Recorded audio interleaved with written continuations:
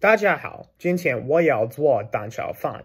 我决定做这个菜，因为我觉得蛋炒饭又香又好吃，所以我想做蛋炒饭。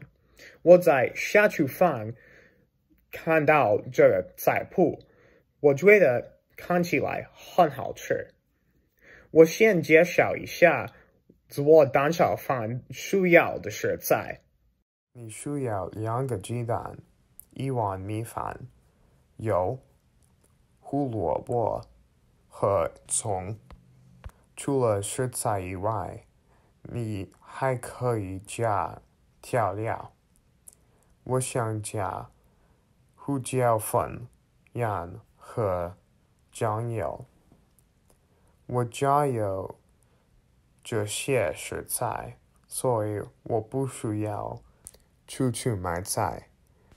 如果你家没有这些食材，你可以去超市买。如果你想用新鲜的葱和胡萝卜，你应该去菜市场买。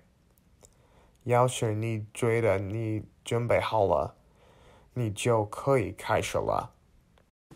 首先把葱和胡萝卜洗干净。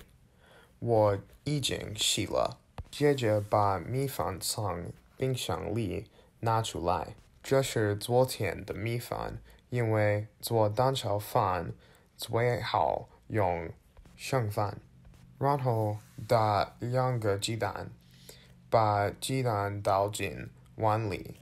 接下来把鸡蛋打匀，接着把胡萝卜切丁和把。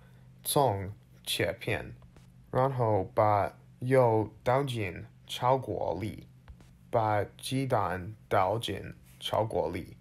接下来把鸡蛋煎一下，接着把米饭倒进炒锅里，然后把蛋和米饭翻炒一下。接下来把胡萝卜和葱倒进炒锅里。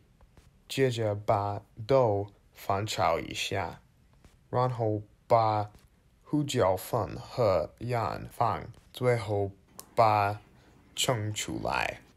我现在加酱油。做完以后，别忘记把碗、炒锅、勺子和刀子放在洗碗机里。我的蛋炒饭做好了。我希望这个菜很好吃，看上去好吃极了。我觉得做蛋炒饭很有意思了。我的蛋炒饭很香，我的蛋炒饭有很好的味道，不但很香，而且很好吃。